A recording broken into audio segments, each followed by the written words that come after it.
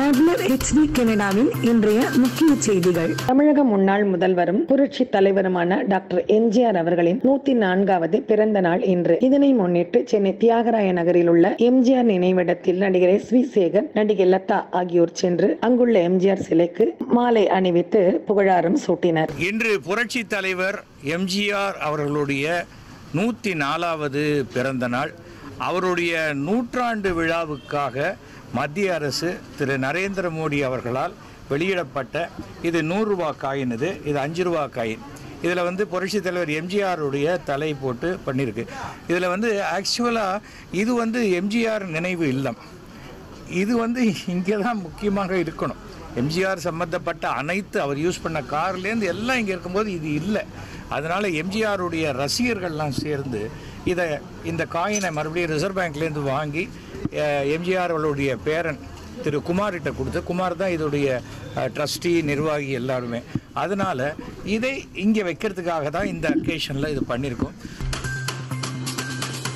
திமுக சார்பில் அதிமுகவை நிராகரிப்போம் என்கிற தலைப்பில் இருநூற்றி முப்பத்தி நான்கு தொகுதிகளிலும் கிராம சபை கூட்டம் நடைபெற்று வருகிறது. இந்த கூட்டத்தில் ஒரு கோடி அறுபத்தி ஒன்பது லட்சம் பேர் பங்கேற்று வரலாற்று சிறப்பு மிக்க வெற்றியை கொண்டு வந்துள்ளனர் என சென்னை தெற்கு மாவட்ட செயலாளர் சைதாப்பேட்டை சட்டமன்ற உறுப்பினர் திரு. மா. சுப்பிரமணியன் என்று மாவட்ட அலுவலகத்தில் செய்தியாளர்களிடையே பேசினார். அப்போது அவர் வேளச்சேரியா வெள்ளச்சேரியா என்கிற தலைப்பில் வருகிற இருபத்தி ஒன்னாம் தேதி வேளச்சேரியில் மாபெரும் கண்டன ஆர்ப்பாட்டம் நடைபெற உள்ளதாக தெரிவித்தார். மேலும் மதுரவாயில் சட்டமன்ற தொகுதிக்கு உட்பட்ட பகுதியில் திரு ஸ்டாலின் அவர்களின் தலைமையில் கூட்டம் நடைபெற உள்ளதாகவும் தெரிவித்தார். மேலும் அவர் செய்தியாளர்களிடையே பேசியதாவது நடத்தப்பட்ட கூட்டங்களில் கூடிய மக்களின் மக்களும் அதேபோல் இணையதளங்களின் வழியே அதிமுகவை நிராகரித்தும் பொதுமக்கள் அளித்திருக்கிற ஆதரவு ஒரு கோடியே ஒரு லட்சத்தி அறுபத்தி ஒன்பதாயிரத்தி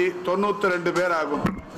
இந்த ஒரு கோடியே ஒரு லட்சத்தி அறுபத்தி ஒன்பதாயிரத்தி தொண்ணூற்றி ரெண்டு பேர் இணையங்களின் வழியே இருபது லட்சத்திற்கும் மேற்பட்டவர்களும் நேரடியாக நடத்தப்பட்ட கூட்டங்களில் பங்கேற்றவர்கள் எண்பது லட்சத்திற்கும் மேற்பட்டவர்களுமாக பங்கேற்று இன்றைக்கு ஒரு மிகப்பெரிய அளவில் ஒரு வரலாற்று சிறப்புமிக்க வெற்றியை பெற்றிருக்கிறது. பொன்மன செம்மல் கொடுத்து சிவந்த கரங்களுக்கு சொந்தக்காரர் புரட்சி தலைவர் அதிமுக என்ற எஃகு கோட்டையை நிர்மாணித்தவர். அவரது நூத்தி நான்காவது பிறந்த நாளை முன்னிட்டு டி நகரில் உள்ள எம்ஜிஆர் நினைவில்லத்தில் முன்னாள் தமிழ்நாடு காங்கிரஸ் தலைவர் திருநாவுக்கரசு அவர்கள் சென்று அங்குள்ள எம்ஜிஆரின் சிலைக்கு மாலை அணிவித்து மரியாதை செலுத்தினார். பின்னர் அவர் செய்தியாளர்களை சந்தித்து பேசினார். திரு எம்ஜிஆர் அவர்கள் விவசாயியாக நடிக்க மட்டும் அல்ல கிராம பொதுமக்கள் வாழ்வதற்காக கிராமப்புற விவசாயிகள் தண்ணீர் திட்டம் சாலை வசதி திட்டம் கூட்டு குடிநீர் திட்டம் கால்நடை மருத்துவமனைகள் விவசாயிகளை மனதில் கொண்டுதான் பல்வேறு திட்டங்களை தீட்டினார் என்று குறிப்பிட்டார். மேலும் அவர் பேசியதாவது நூற்றி நாலாவது ஆண்டு பிறந்த நாள் தினத்தை ஒட்டி அவருடைய நினைவில்லத்தில் அவருடைய திருவுருவ சிலைக்கு மாலை அணிவித்து அஞ்சலி செலுத்துகிறோம். அமரர் பட்சத்தில் எம்ஜிஆர் அவர்கள் திரையுலகத்தில் இருந்தபோது முடிசூடா மன்னராக புரட்சி நடிகராக உச்ச நடிகராக அந்த காலத்து சூப்பர் ஸ்டாராக வலம் வந்தவர்.